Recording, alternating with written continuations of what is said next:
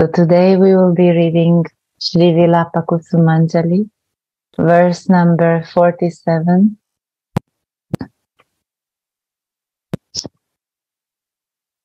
O Bhavye,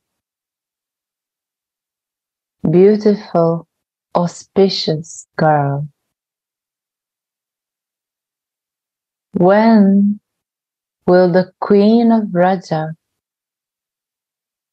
as I bring her the sweets, hold her forehead on my forehead in loving joy as if she's my mother. And inquire about your well being, knowing me to be yours.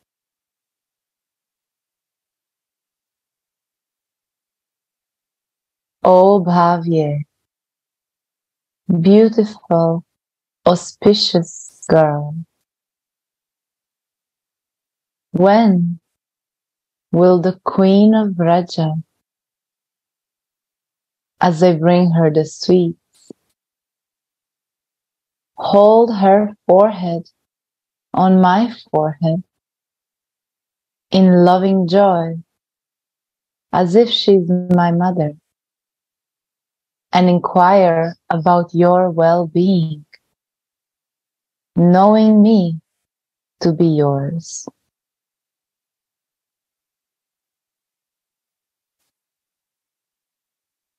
In a divine vision, Sri Raghunath perceived his devotional service. And now that the vision is gone, he prays. In this way, it goes on continuously.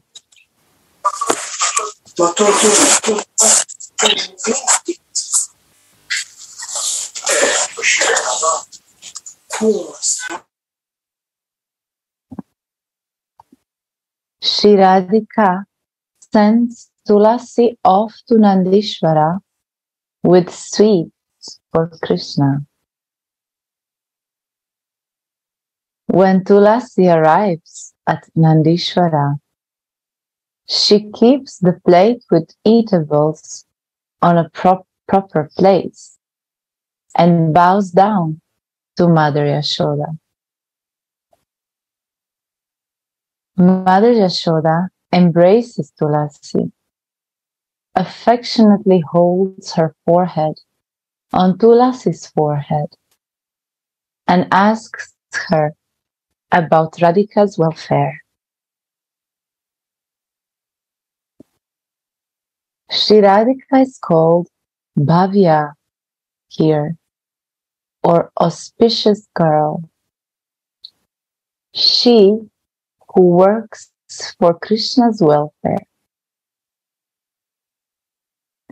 Ma Yashoda loves Radhika as much as her own mother Kirtida does. And Srila Raghunadasa says, she loves Radhika as much as she loves Krishna even.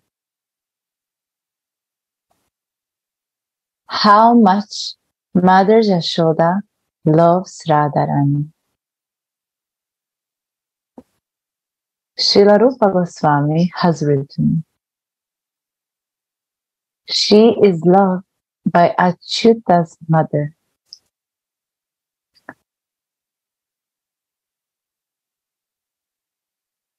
Radhe, Radhe, Radhe.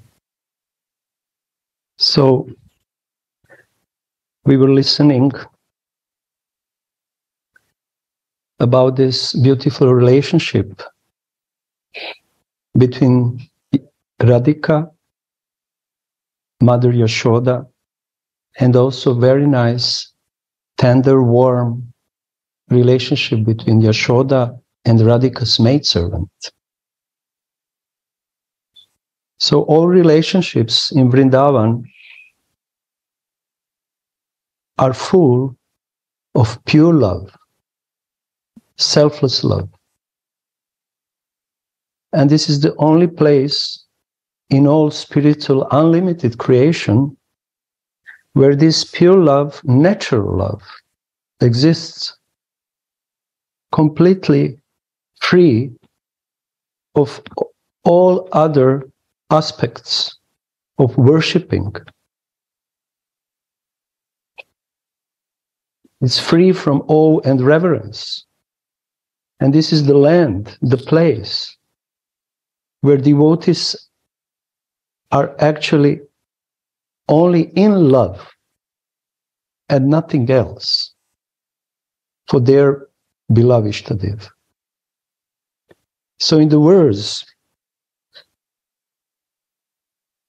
Raghunatha is saying and addressing Radhika, oh Bhavye, Bhavye, beautiful, auspicious girl. And next he is saying, when will the queen of Vraja? He is mentioning the, another person. And we know that Radhika is also queen of Vrindavan. She's the queen. But Raghunath is saying there is one more queen, Yashodama. So why he is saying that there is a two queens in Vrindavan? Because each of them are situated in her own love, in her own love towards Krishna for his benefits. And each of those two queens are embodiment of motherly love and also embodiment of this loving relationship full of amorous love. So the queen of Vrindavana, like Mother Yashoda, is embodiment of motherly love. And what does it mean to be embodiment of motherly love? First of all,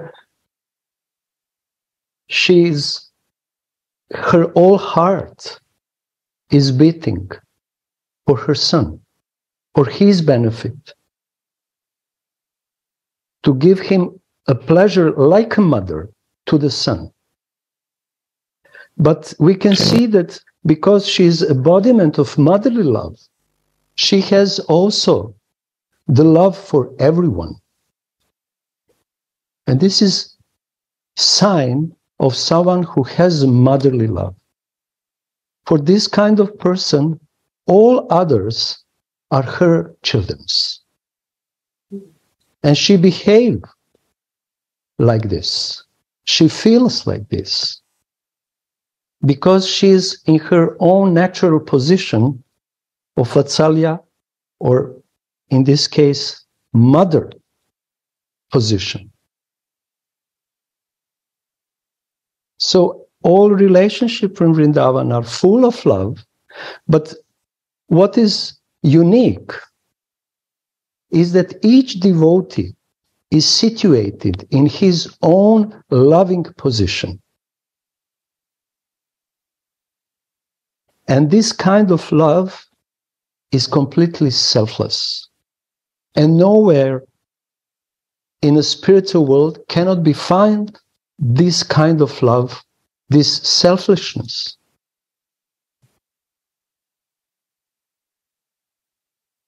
And Vrindavan is natural place for love, for the natural love. And Raghunath here in these words is glorifying Radhika, who is Bhavye, who is all emotional because all her emotions are focused on her Mohan, on Nagara, beloved. And she is also auspicious because whatever she thinks, whatever she is doing, whatever she is feeling is for his pleasure, for his benefit. So, knowing that deep in the heart, Mother Yashoda, who is also a embodiment of motherly love, she is receiving Radhika's messenger, maidservant, with full love. Because you are coming from Radharani. And I know that whatever Radhika is doing, she is doing for the benefit of my son. So I also love you. Because in your presence, in your form, I can see all Radhika's emotions. I can see, and I'm putting out of my deep affection, I'm putting my forehead on your forehead, fondling you. You are so sweet girl. And you are coming from Radharani. So, this affectionate attitude we should learn from those who are deeply absorbed in their own bhav. I remember Prabhupada wrote somewhere in Srimad Bhagavatam 10th canto that those, those devotees who are attracted to Vatsalya Rasa should meditate very deeply with full focus on Mother Yashoda and how she is giving the milk from her breasts to little Gopal. So Prabhupada is giving instructions how to do the bhajan for devotees who feels attraction for Vatsalya Rasa. They need role model. And the best role model for Vatsalya Rasa is Mother Yashoda.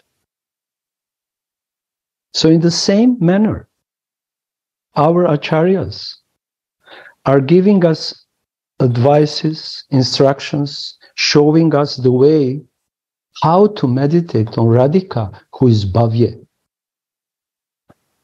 who is completely absorbed in her love to Krishna. Because the word bhava also means absorption. And what gives that absorption? Love. Love gives most intense absorption. Because this love is something which can only satisfy the soul. And when the love exists in the heart, then we can say that person really exists. Without love, no one actually exists, really, in his real, natural position. So Raghunath here, Rasamai was reading in the beginning of the purpose. He perceived vision after vision, after vision, after vision. Because all these lilas are appearing to him according to their own wills.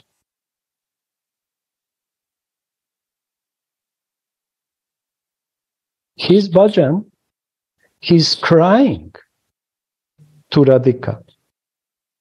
Is from Sadakavesh. But his crying is the sign of his love, pure love. And Radhika, her, his beloved Ishtadev, cannot resist but to appear.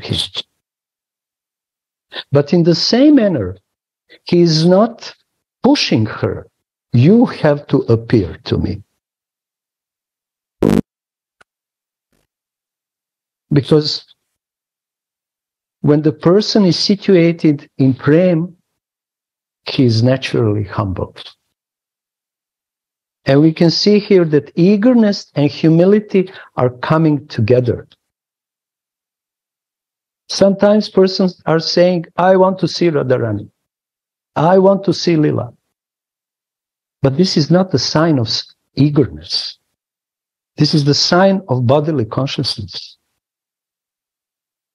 Eagerness are coming from the soul. Eagerness are coming from the spiritual identity, which is connected with others who are on that platform. Eagerness, which is coming from the bodily consciousness of life, is just a passion. But real eagerness is coming from the soul. And automatically brings humility in the life of sadhaka.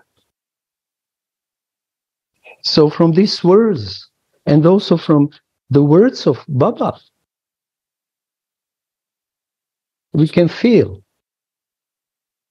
how much eagerness and humility is present in the heart of Raghunath.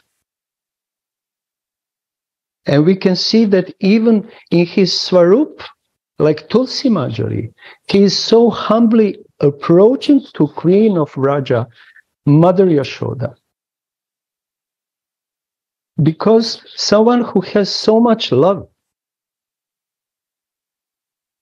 all his activities or her activities are also filled with such a loveliness, with such a humility. And we call it sweetness. Sweetness doesn't exist without humility. And Krishna, when he is most sweet, when he is humble in front of Radhika's lotus feet. So this is Vraj mood. And Anantadas Babaji and our Guru Dev are trying through their words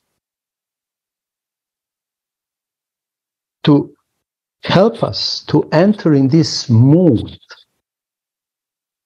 these feelings, these kind of thoughts, and also activities.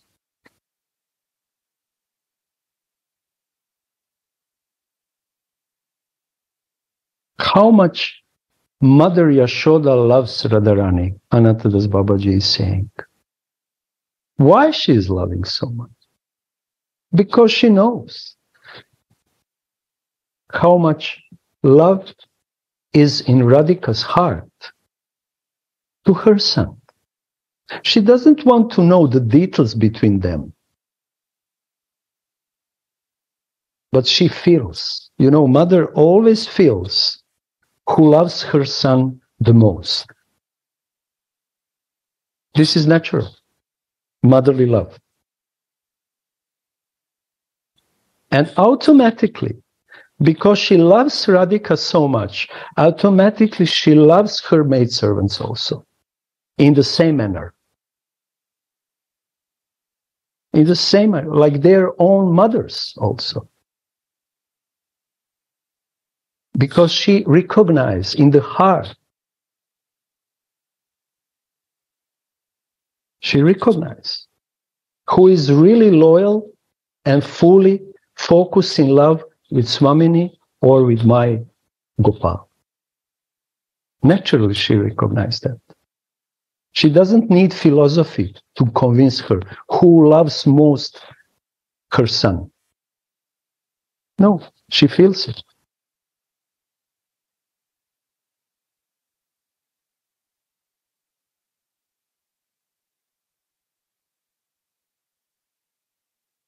I said something.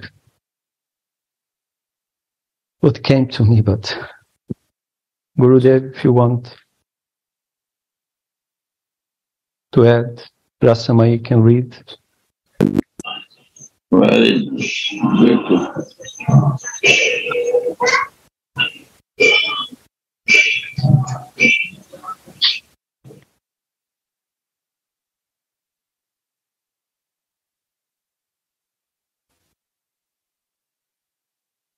It was only seven or eight hours since Radhika was at Nandishvara to cook Krishna's breakfast. Yet, Mother Yashoda is already very anxious about her welfare. How much Yashoda loves the maidservant, knowing them to belong to Sri Radha.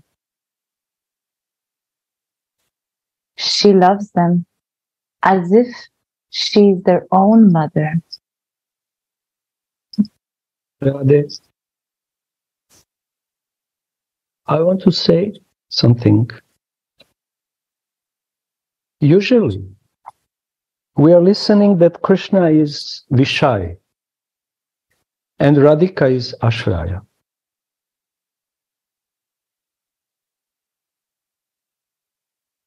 Vishai means object of love. And Radharani, or devotee of Krishna, is Ashraya. He's the shelter, he's the place, he's the reservoir, or she is of that love, possessor of love. But now we have another situation that Manjari is Ashraya and Radhika is Vishai. Radhika is the only object of love for Manjari, for Kinkari. And Kinkari is the reservoir, the place, treasure of that love, of that devotional service. And knowing that, Mother Yashoda, who is also a Ashraya, treasure, place for motherly love for Krishna, she feels that. Devotee who is Ashraya of his beloved Ishtadev always recognize another devotee who is also Ashraya for his for the same Ishtadev or for his own Ishtadev. And this kind of devotee also immediately recognize who doesn't have Ishtadev and who is not Ashraya, who is not a place of love. So Many times we are listening about this Vishaya, Ashraya, object of love, who is the subject of love. And Krishna wants it to become Radhika, exchange the role. He wants it to become Ashraya. And he put it in his heart, Radhika, to be the goal of his life. But also, he wanted to taste. What does it mean to be Radhika Ashraya? That Radha is from the point of Dasi, of Manjari.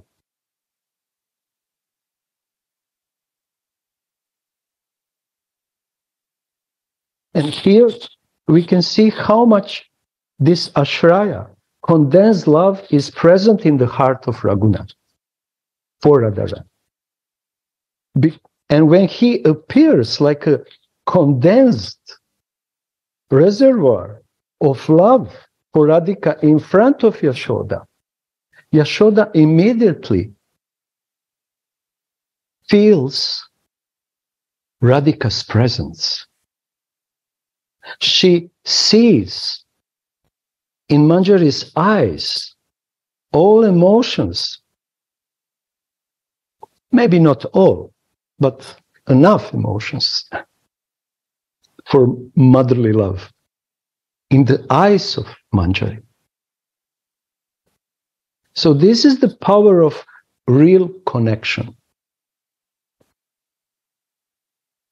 When devotee is focused on his beloved Ishtadev, and in that moment, he is becoming the treasure also of love for that Ishtadev.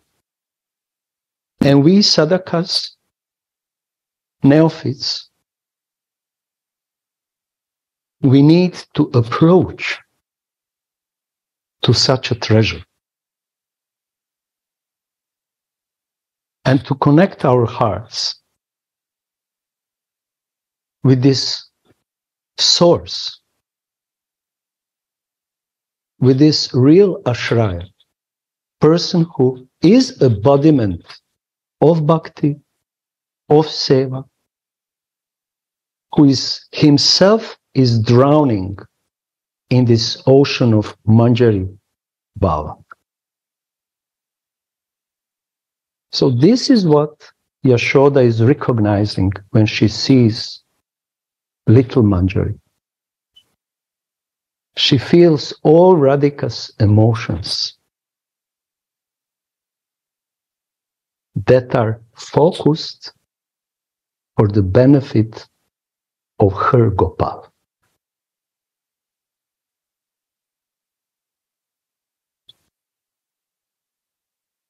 I just wanted to say, Radhe.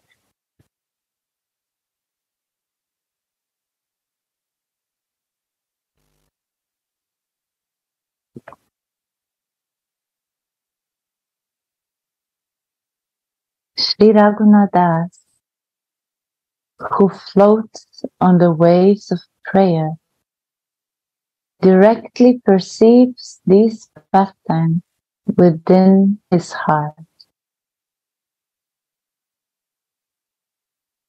Through their own example, the acharyas have shown that one must be very eager to attain one's Ishtadev.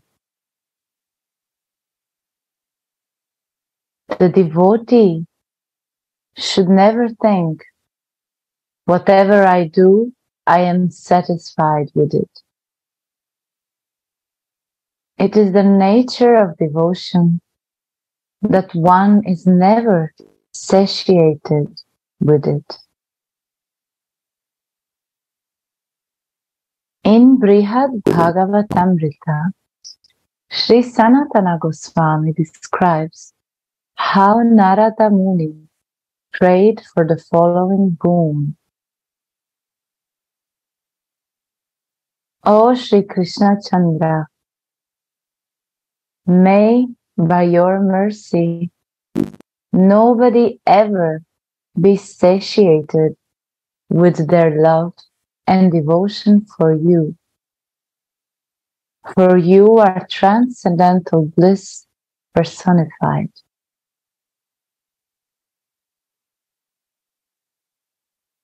Shri Krishna replied, O teacher of all clever art, what kind of boon do you seek from me? My devotion, my mercy, and my love are naturally inexhaustible. You have wandered around everywhere, starting from Prayag Tirtha hearing about my devotees and seeing them. They are all objects of my mercy. They have all their desires fulfilled, and they can deliver the whole world. Although you see that there are different levels of them, you cannot see any one of them is ever satiated with their devotion to me. Therefore, please pray for another boon to me.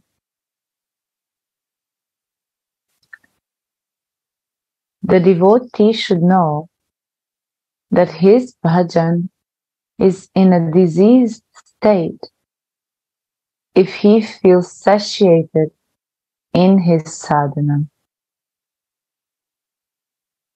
One can measure one's advancement and taste for bhajan in the way in which one is greedy, eager, and unsatisfied with spiritual flavors. Radhe, maybe we can stop here if someone wants to share a little bit. Uh, I will put just to see who is here. Gurudev, if you want to share. Gaurachandra. Gauravani, yeah, I see you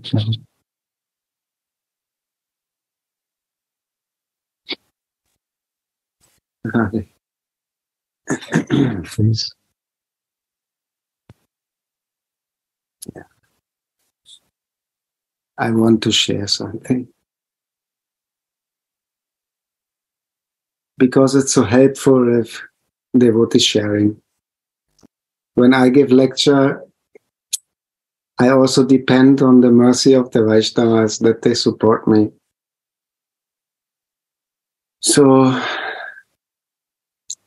actually I don't want to talk, I want to listen Gauranga Sundar. but same time I want to support also something.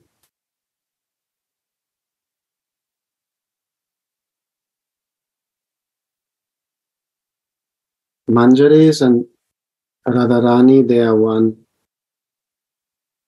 Always.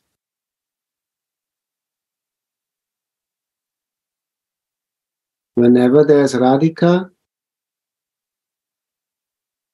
means Manjaris are there also. Manjaris, they are like bumblebees, always circumlating the flower.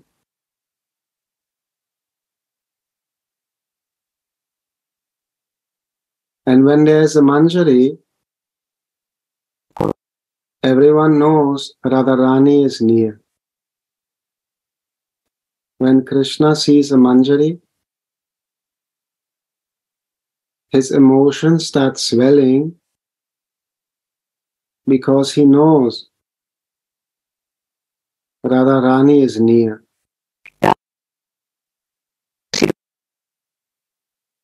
If she is not visible right now, then at least everyone understand the Manjari is here because of Radharani. She will never be here independently from her own desire. She's only coming because she has something to do for Radharani. She is in the service of Radharani.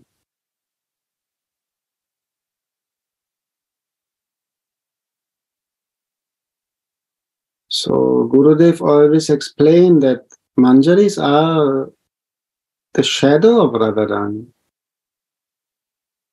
They never leave Radharani for one sec- second.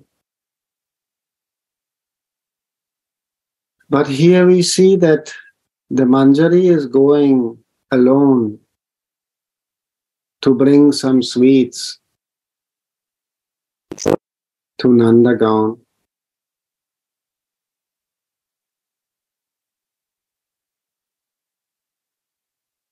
This is also an example of the oneness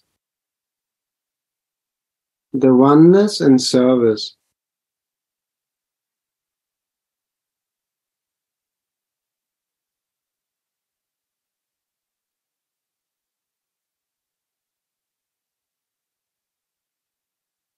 I feel same like with Gurudev now. I could spend long time in COVID time being together with him in union then I'm now separated for more than one year. But I try to be in his service. So I want to have a oneness directly or in the service, in union or in separation, there's oneness.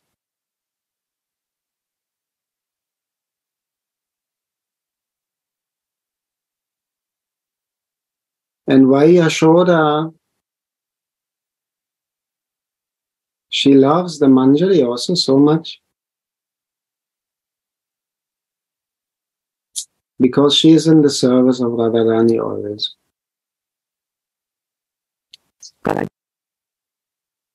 I listen one lila or the background of the parakia mood, how this came.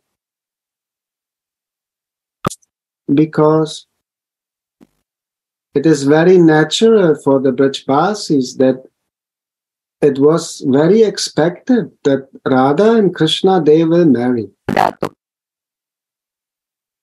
Nanda Baba, he is king. Vrishabhanu, he is king.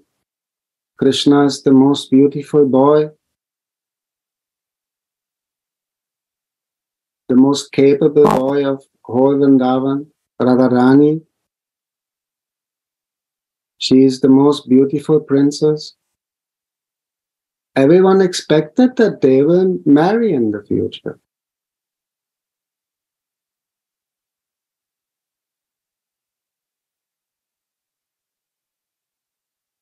But then, by the arrangement of Yoga Maya, they could not marry. They made a chart, astrology, astrology chart. Both they have a very good karma. But if they become couple, something bad will happen. The chart saying that. Some big problem will come to one of them. I think Paurnamasi, she did the chart. So they could not marry. Everyone was shocked. But it was an arrangement by Yoga Maya to manifest the Parakiyabha. That she has to marry another man, but secretly she will meet Krishna. So inside of Yashoda, there's always the thinking, she should be my daughter in law. She has this bar for her always.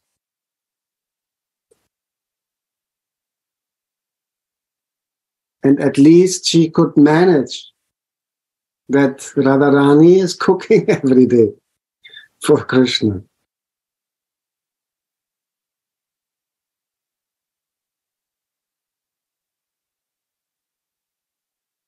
Yeah.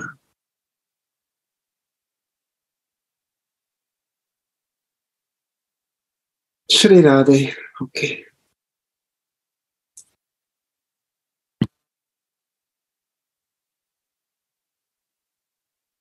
Thank you.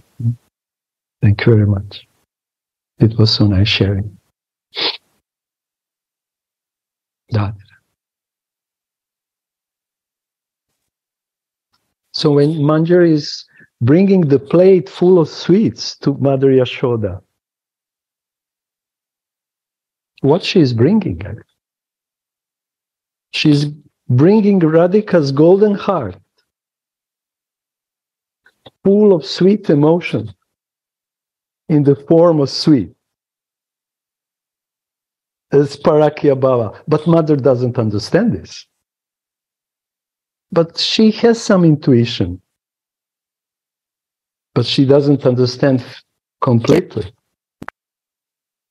The situation when Manjari put her head on Radhika's chest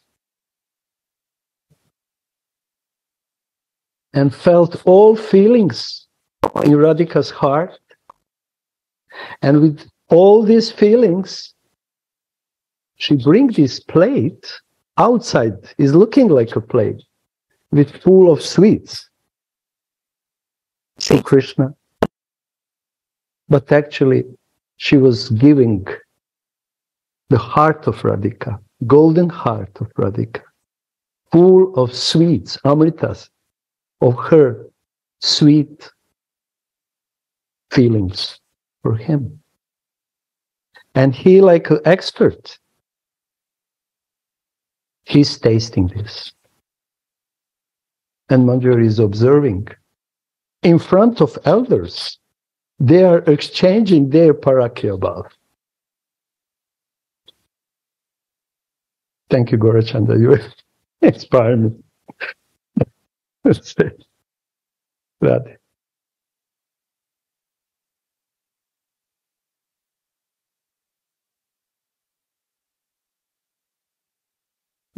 Hmm. How eager Sri Rupa and Raghunatha were. Hearing it, even a stone heart will melt.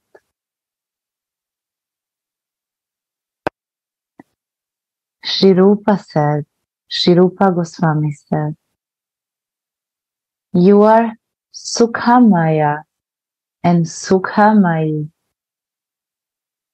You are always absorbed in blissful pastimes.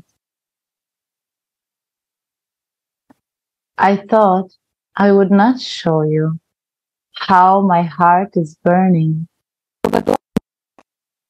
but I cannot keep from telling you anymore. See how your Rupa's heart is burning. Utkalika Vallari 1 All the pastime places are still here, right before my eyes. And even today, these pastimes are going on. But I don't get any response. Your pastimes are not floating upon my eyes. No.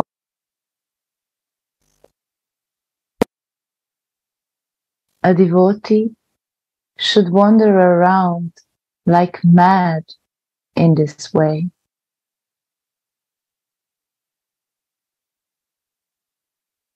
Sri Rupa and Raghunath stayed under different trees every night just to experience the different spiritual pastimes that Radha and Mohana were performing at each place.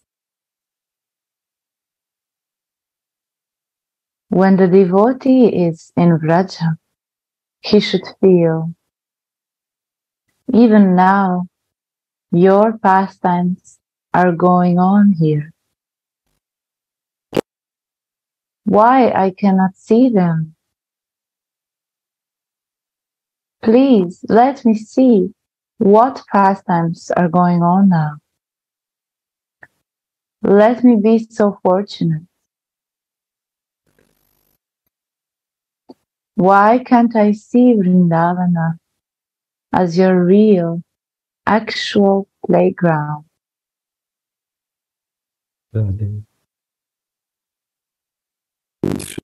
So this is the mood how sadhaka has to live in Vrindavan. Baba is giving very clearly the way of consciousness in sadhaka. Which kind of consciousness he should nourish.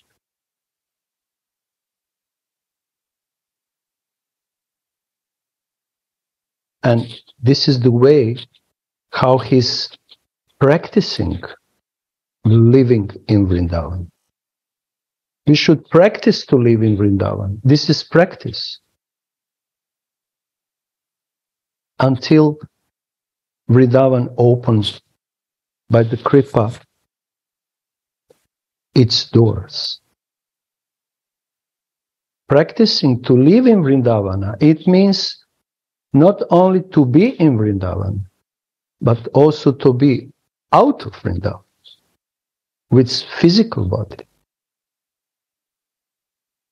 I am living in my country, whatever it is, and I'm practicing still to live in Vrindavan. Because I have strong faith in the words of Acharya. And through this strong faith, it said, it's strong faith in the scriptures. But what does it mean? Strong faith in the scriptures. It means strong faith in the words of acharyas. I want to practice to be more and more and more absorbed in living in Vrindavan. And now, in this moment, for example, so many devotees are present from different countries, even continents. But if we have the same goal, same desire to be focused on this specific pastime, which is going on eternally in Vrindavan, then all together, all of us, in this moment are living in Vrindavan.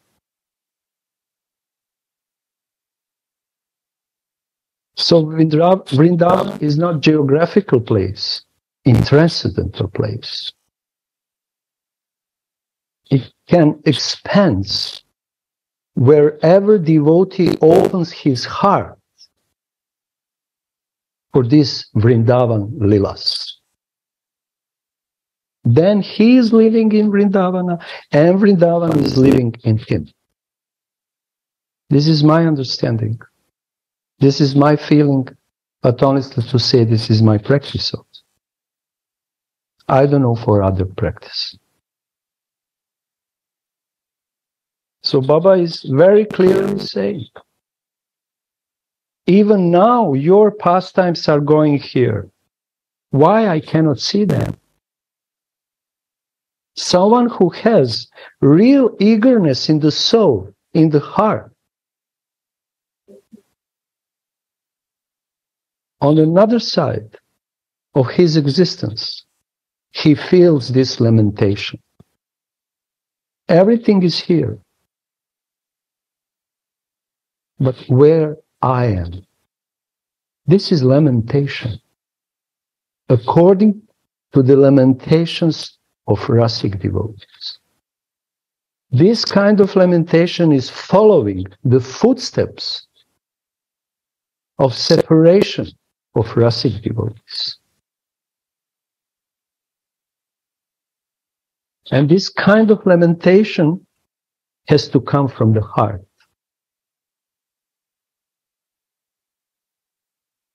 Not from monkey mind or whatever from the heart. And when devotee feels just little lamentation of Raghunath, little lamentation of An- Anantadas Babaji, who is writing this commentary, because he is lamenting If devotee sadhaka feels that, then he is practicing proper sadhana, which slowly but surely will bring him by the kripa to ultimate goal. So sometimes I ask myself, how I can feel such a strong separation if I didn't have any experience of Lilas. This is the key. I'm telling to myself, this is the key. Connect your heart with those who has genuine separation, feeling of lamentation. And because their lamentation is transcendental, it will penetrate and inf- will be infused in your heart. So this is my fate. Maybe someone has another. So we should learn the art of living in Vrindavan. Right, you are very right. Beautiful. Please, God, save your food. Yeah.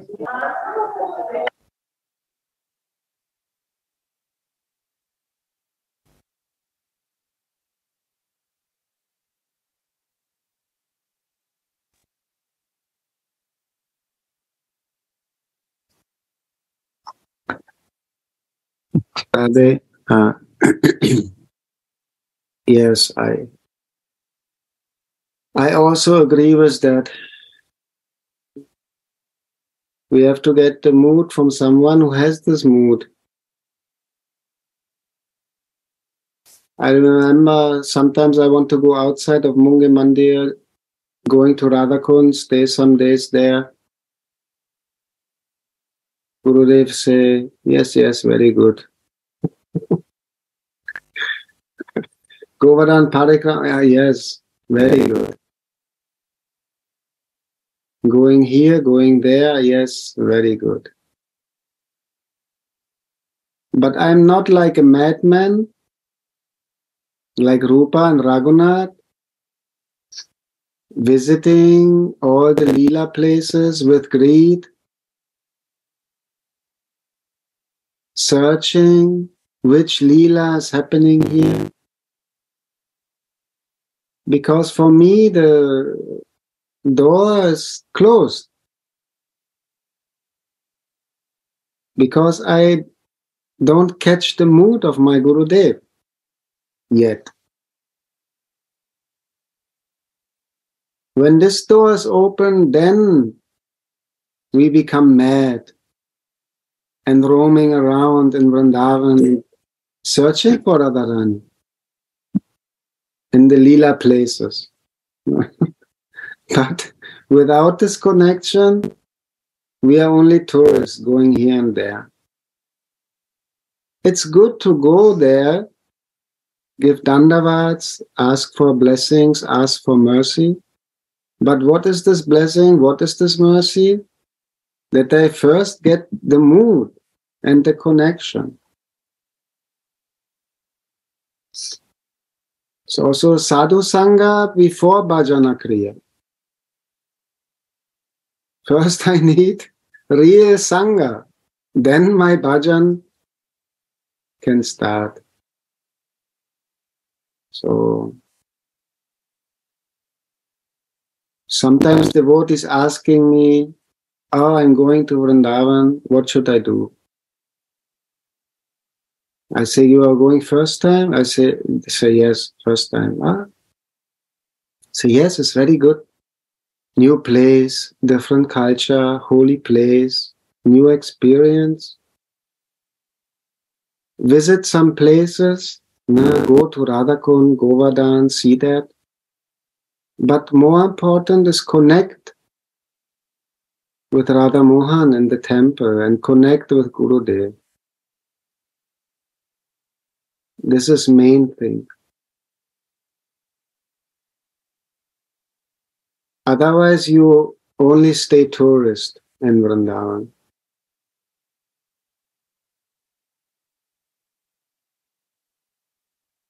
Yeah.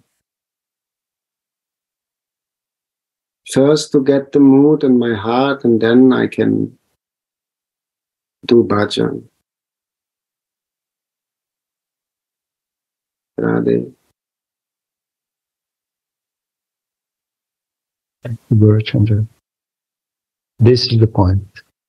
First get the mood. First be infused with the mood of Gurudev, who is Manjari, and then practice bhajan. How we can practice bhajan? if we are not deeply absorbed in the mood.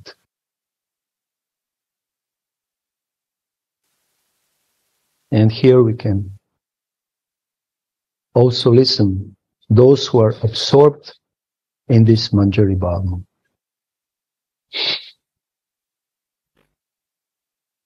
And for that also, it's not going on if I only know that my guru is Manjari. It's not enough. It's just the beginning step. I have to accept his infusion. I have to allow him to steal my heart. Because when he steals my heart, Radha Mohan will steal my heart. And then, like Gaurachandra said, then I will become mad. If someone steals your heart, you are becoming mad. So this madness is rati. So devotees who are sincere sadhakas are hankering and lamenting for that rati, this madness. But it starts from Shri Guru Charane Rati. Madness. He is not the goal, but he has the Radha Mohan in his heart. And they are jumping from his heart in the heart of Sadhaka to steal the Sadhaka's heart, to make him mad. That's If someone steal your heart, how you can survive? Without heart, nobody can live. Somebody stealing your wallet, you will run after. Hey, hey, wait, wait, give me back, give me back. Same with your heart. Eh, if somebody take your heart, you you you want it back. Yeah, I cannot live without my heart. But this is the madness in love. If the stealer of your heart asking you, you want it back, then you will say, no, no, no, keep it. I only want to run after it always, but I don't want it back. yes. Keep it, Yes. keep it. This is the madness.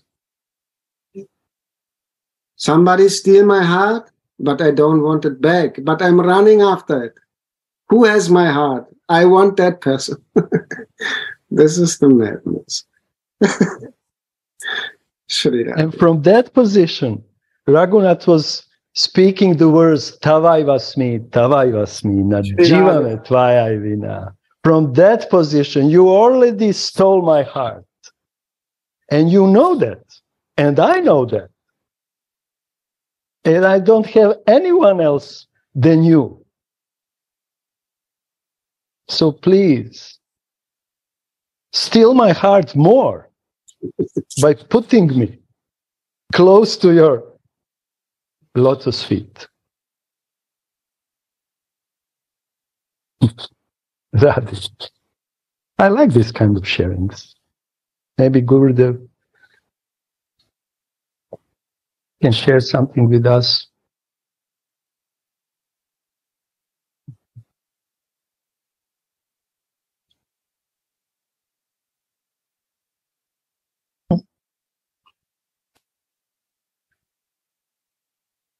Sri Raghunath has chosen Sri Radha's dearmost playground, Sri Radha Kund, as his place of worship. And by the mercy of the Kunda, he directly perceives all her transcendental pastime. Now, he is not Raghunath. He is Tulasi Manjari. Mother Yashoda holds her forehead on my forehead and asks me about Sri Radhika's welfare, saying, How is my Radhika? Will I not even experience one drop of this affection?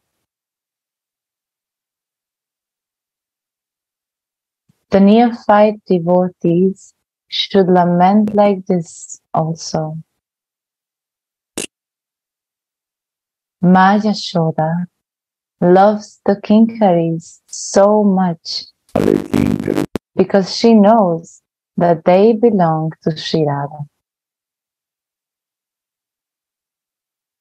Radharani's affection is infused in her maidservant. And when Mother Yashoda sees them, she is as happy as when she sees Radharani herself. Blessed is Sri Radhika's service. The devotee should eagerly wander around from forest to forest of Vraja, crying and crying. O hey Vrindavana, O Vrindavana's inhabitants, O Vrindavana's sky, wind, trees, wines, deers, and birds, let everyone know that I am Radhika's maidservant. You all be kind to me. Make this consciousness within me very firm. Oh Radhe, where are you? This whole forest is illuminated by your golden splendor. Keep me alive with just one drop of this luster. I don't have anyone else but you.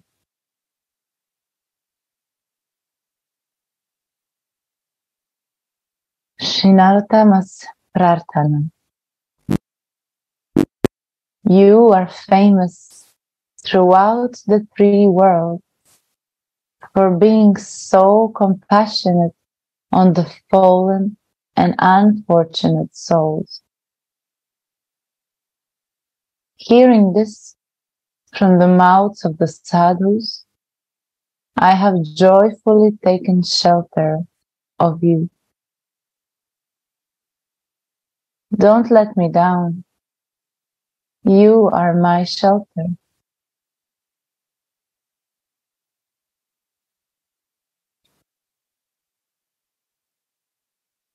I am living in Vrindavana, the kingdom of devotional enthusiasm. But I am simply engrossed in bodily consciousness. How unfortunate I am. When I hear and chant the great words of the Acharyas, I will certainly attain that devotional eagerness. Then I will wander from forest to forest, crying, Where are you, O Radharani? Your golden luster illuminates the whole of Vrindavan. My mind and eyes subsist on a mere drop of this luster.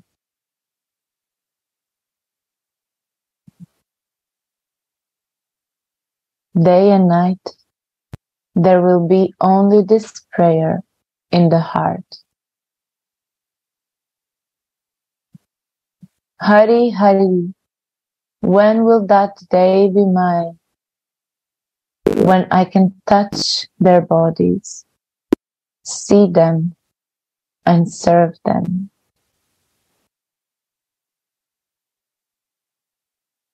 I will blissfully render service with Lalita and Vishaka, stringing garlands of different flowers.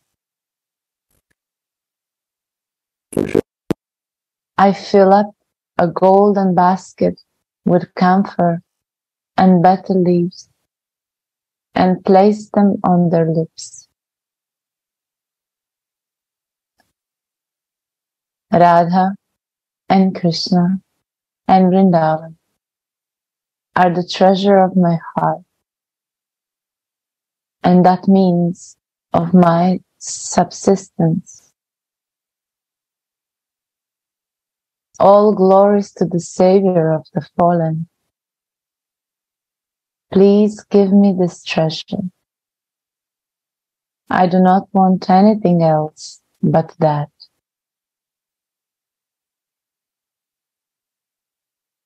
This is the pure experience of the acharyas. I don't want anything else but that. Sorry that I'm interrupting in this flow of listening. Just want to point how important it is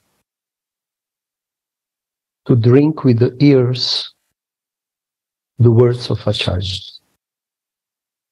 Narottam Das Thakur, who is one of them, is giving this advice, showing us sadhakas the way.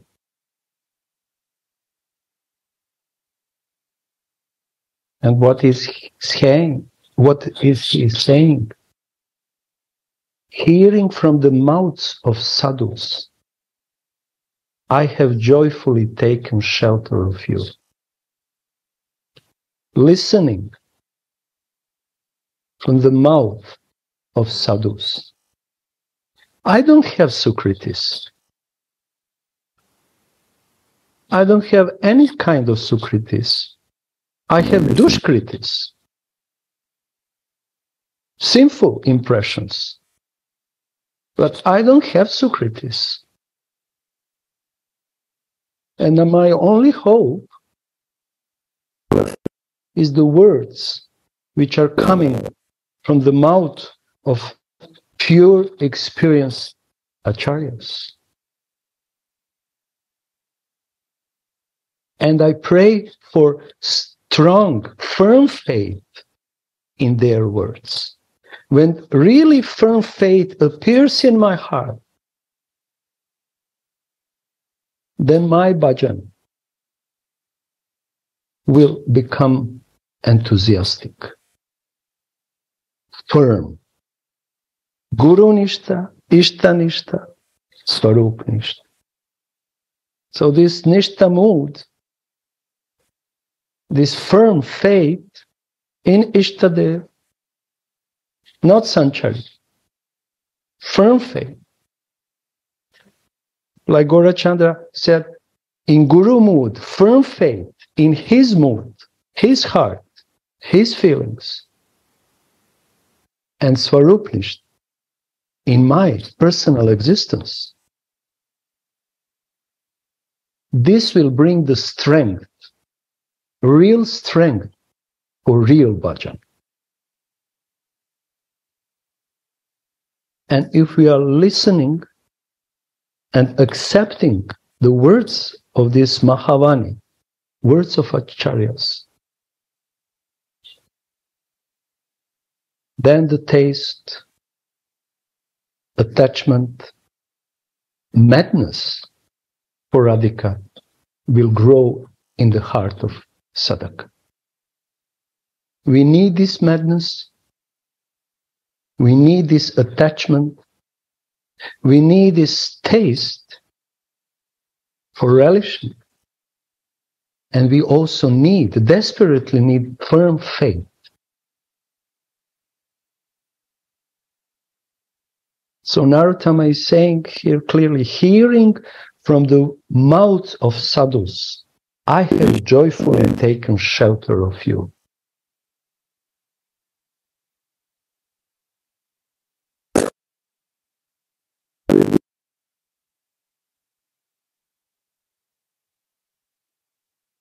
And I don't want anything else but that. This is the firm faith, not up and down, not weak, firm faith, which is based also on attachment. For Ishtadev, Gurudev, and Rasikacharyas. So this is not philosophy. This is not a theory, actually. This is the living life of sadhaka, of someone who is really eager from deep, deepest core of his soul.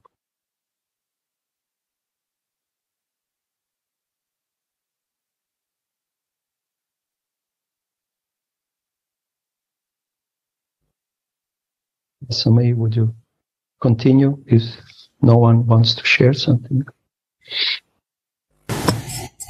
Radhe Radhe.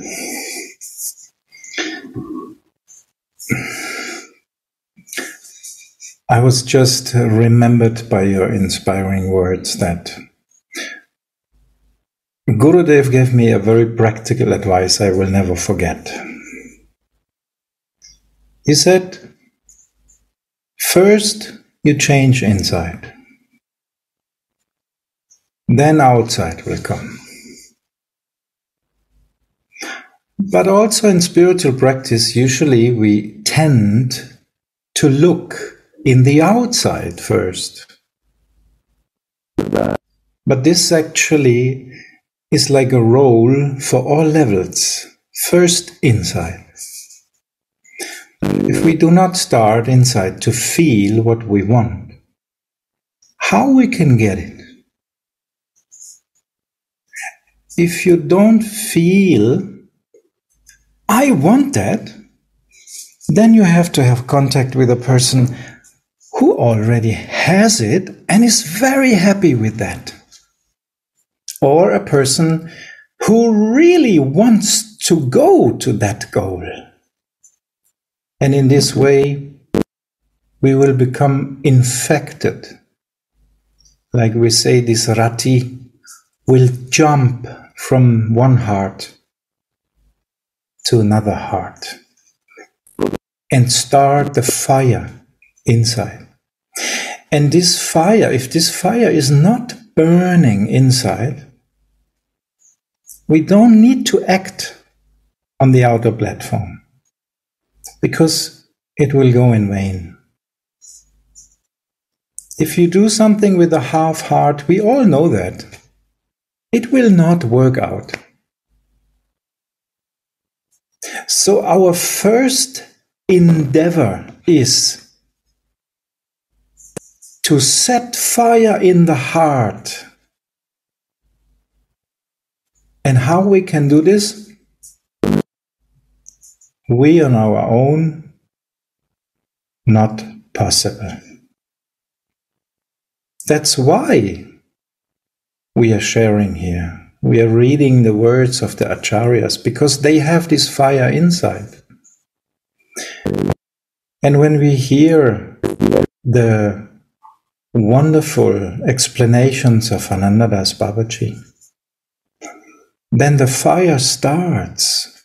We can hear his lamentation like he is humbly saying, Oh, in my heart it didn't start yet. I have no relation.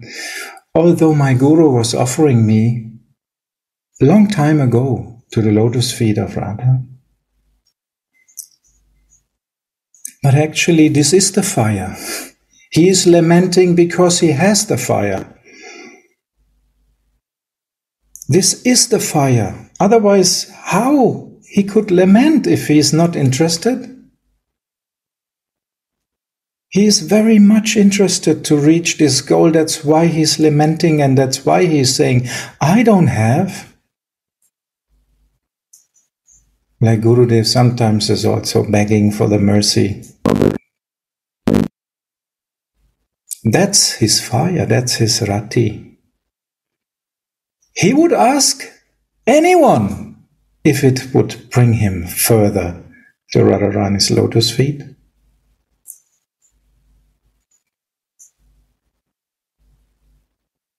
So if you're really, really, really on that point that you want it, then you first have to set fire in the heart.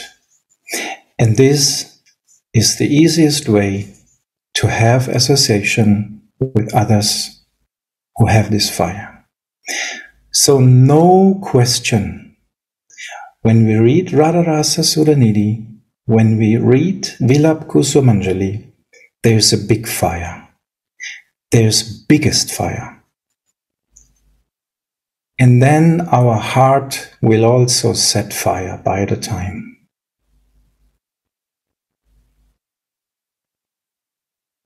And then our sadhana actually will also come out of this fire. Everything will be born out of this fire. Otherwise, with half heart, our sadhana will be never satisfying. And even then, it will be not satisfying because you want more and more and more. Always. And if we don't lament and if we don't cry for our goal, how we want to reach it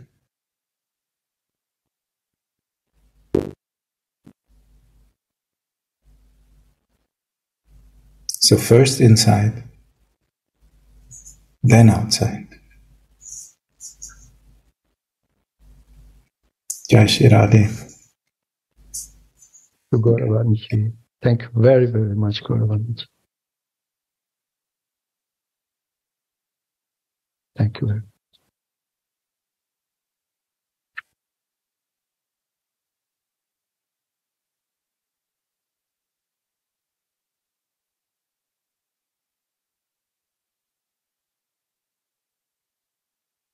We should stay in the Vrajavan, in this mood, not having a liking for anything else. But unfortunately, a soul like me likes many other things. Despite living in Vrajavan, profit, adoration, distinction, money, and whatnot. Where will I find this treasure of my heart? For whom I have given up everything to come to Vraja, Radha Mohan. There is no other hope than their mercy.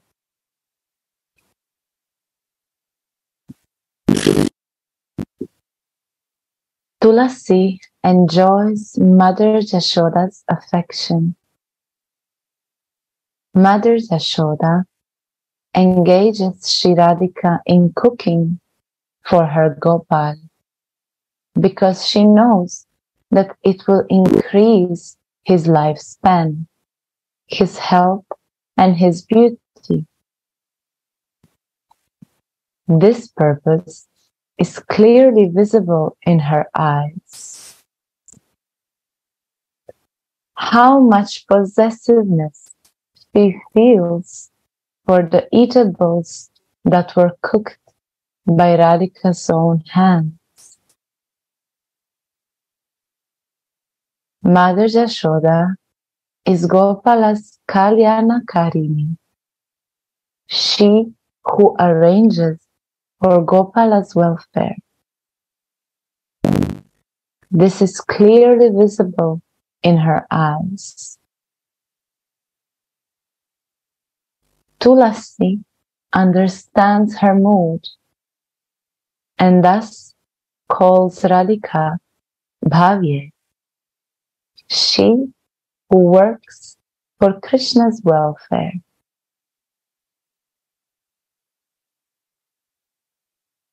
Tulasi's heart is filled with Mother Yashoda's affection and Sri Radhika's great glories. And this makes her very proud.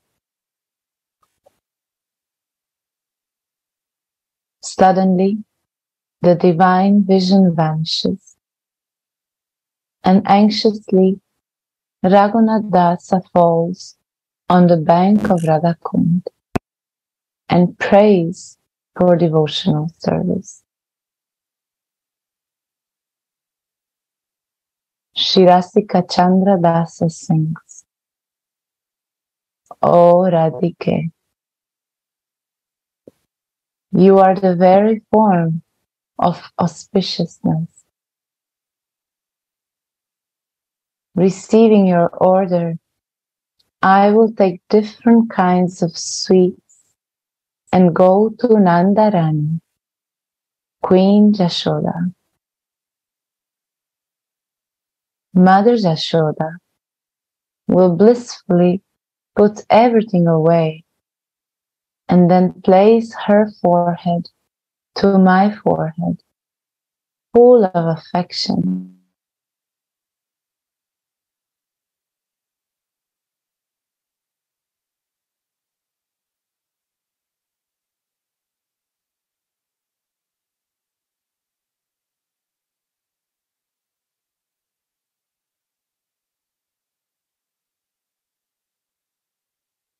There is interruption in internet.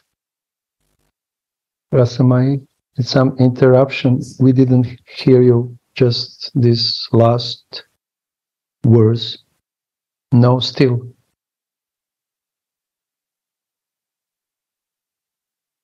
Okay, reconnect. Yes.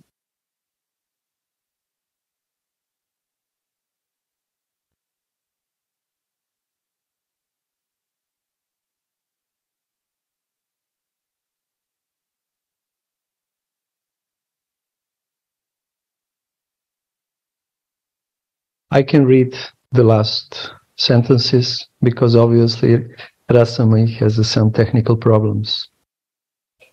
Rasika Chandra Das sings, O Radhike, you are the very form of auspiciousness.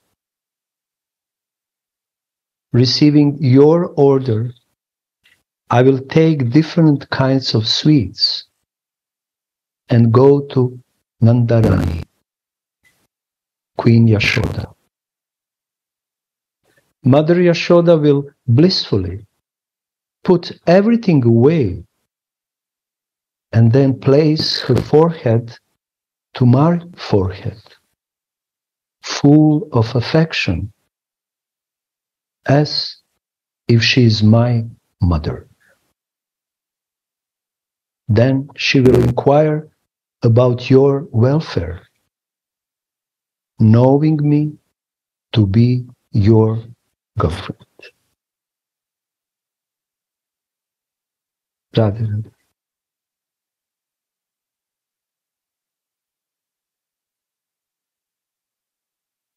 We will stop here. It's the proper time to stop. so, thank you very much for everything. Radhe.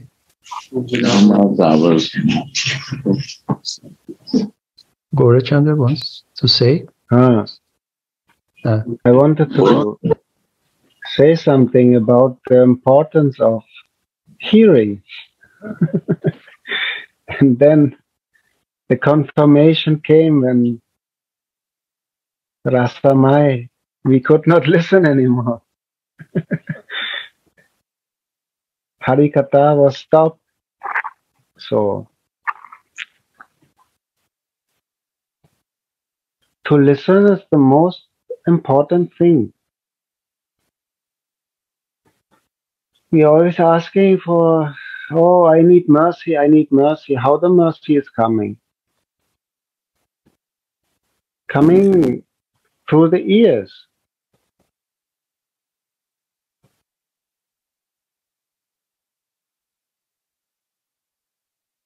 Five hundred years ago,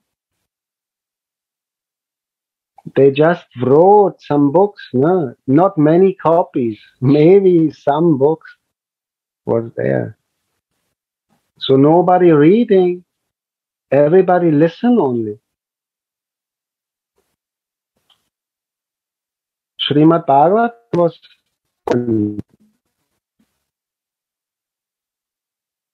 actually it is said that writings or scriptures only exist in Kali Yuga because people they cannot remember.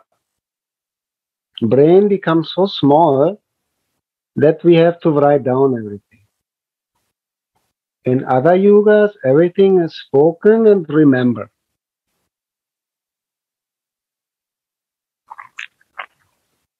Bhagavad Gita, Krishna spoke it, Arjun listened. Everything is about listening. First process of devotion is service, Shravana. And even if we watch through the Braj Basis what they are doing, here in this Leela, Yashoda want to listen. How is Radharani? Uh,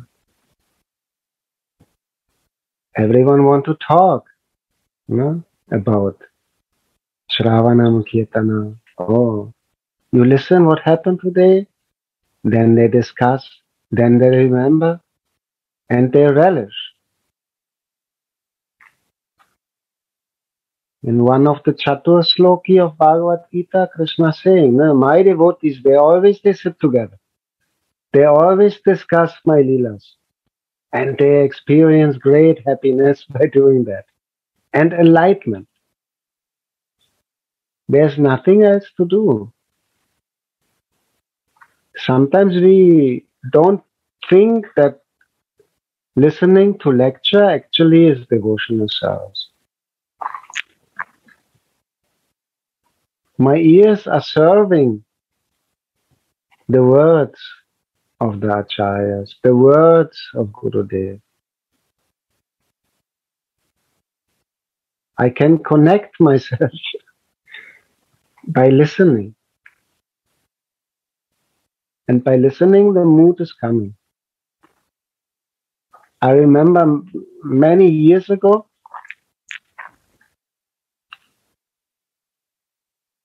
there was uh, a Tirtha Maharaj from Hungary, I think, Tirtha Maharaj, preaching in Hungary and Bulgaria. I think Tirtha Maharaj, yeah.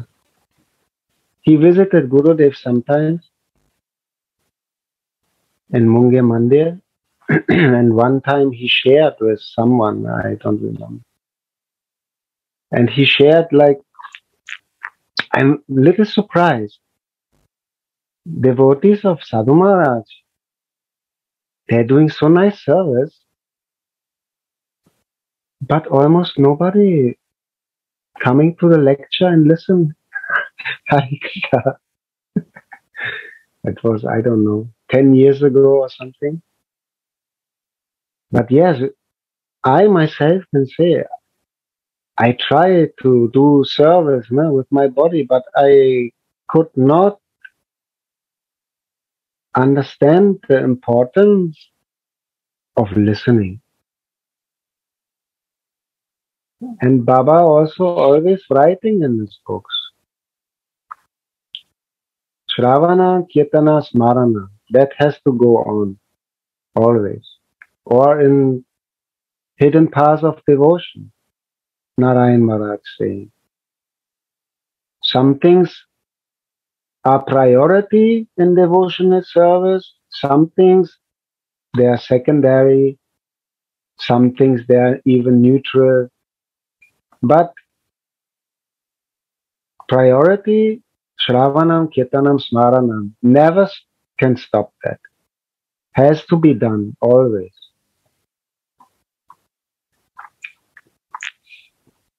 So the ears are our most precious thing that we can use to receive some mercy.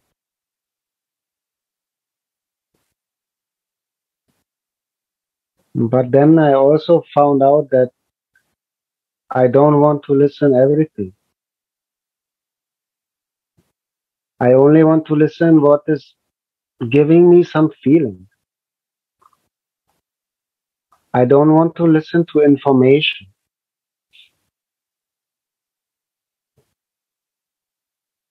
I only want to listen what is helping me to increase my mood and my feelings. And that is very rare. Cannot listen everywhere. So, if we realize that, then we can become eager Hmm. to choose the nice lectures and with eagerness listen because you cannot find so much this kind of katha.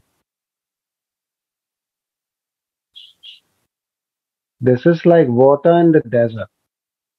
We need this to survive. So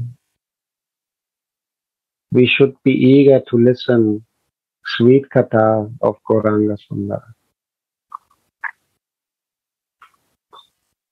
Shri Radhe, thank you. The duration. Bhaiya, you exaggerate. But you are right. Actually, we should profile our listening.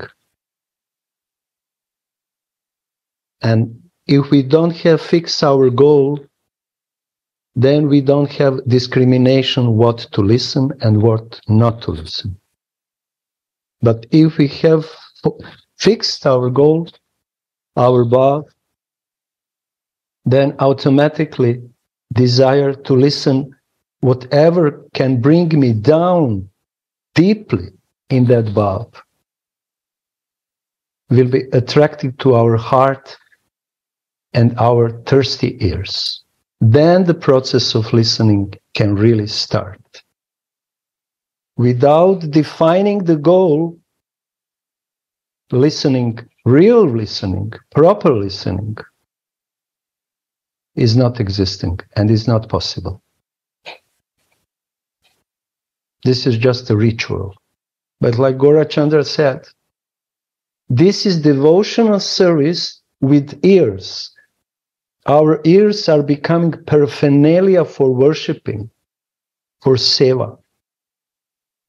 Because our heart is burning, Gauravani said, burning heart makes ears to be paraphernalia for seva.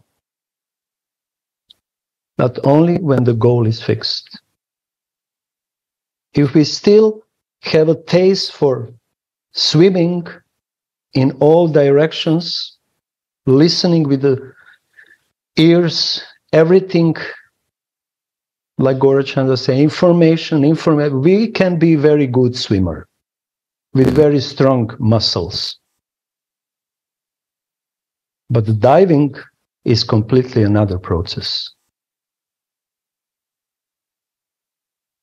And thank you very much, Gaurachandra, for mentioning this important point of proper listening and devotional service, which is listening the Mahavan. And I think everyone, sorry, and I think every one of us has experience in association with Gurudev who is always pointing out, listen, listen, listen, listen. And we think that we are listening. But what is the result of this listening? we can see in our heart. Gauravani, sorry.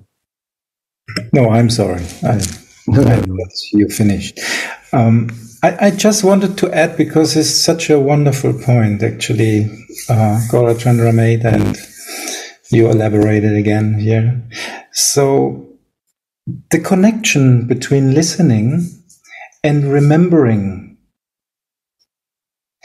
It's very, very easy to remember something. You get an inner picture too. But how to get an inner picture of a theme? If somebody is telling you something,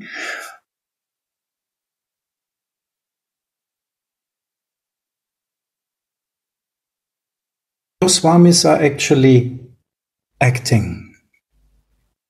They create an inner picture. Oh, internet was unstable. You heard anything? so the six Goswamis actually they create an inner picture in us. How does that work? Because they are sharing feelings, not information, like Gaurachandra said. If you hear information, you need brain, remembrance. And it's not so easy to go into that theme and remember it. But if somebody is sharing feelings, your feelings respond.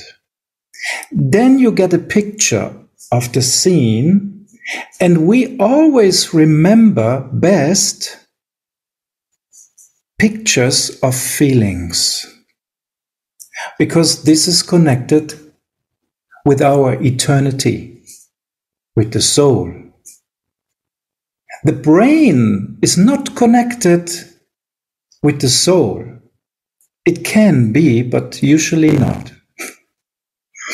And if it's so, it's through emotions, the connection. So, but the feelings are connected with the soul. The false ego may influence, but the connection is there. So, the more pure we hear, the more pure are the pictures, the more real are the pictures, and the more we can remember. That's why it's so it's it's such a important point actually that we hear and from hearing we go into smarana because pictures means smarana. You get pictures you get a vision you get some impress which stays actually. So that's why it is so important to hear from someone who has feelings of what he is talking about.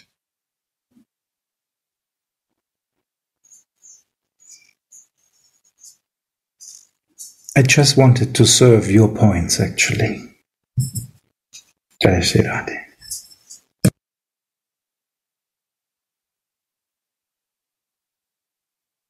So, Radhe Radhe, thank you very much, everyone, for all your participation in all levels of your existence. I'm sorry for my arrogance. I'm sorry for my mistakes. If I offended someone, be, be merciful, please. Excuse me. And I hope that Radha Mohan Gurudev at least will take some drop and make it bigger of our seva. Radhe Radhe. Dandavat Gurudev, embrace you Gurudev and all Vaishnavas. Ah. Thank you, Rasamai. I love you every day. Jai. Yes. Beautiful. Thank you, Gauravani. Thank, Thank you you, Bhaiya. Thank you. so, so many sweet points. Thank you. Thank you, Gauranga Sundara. Thank you very much.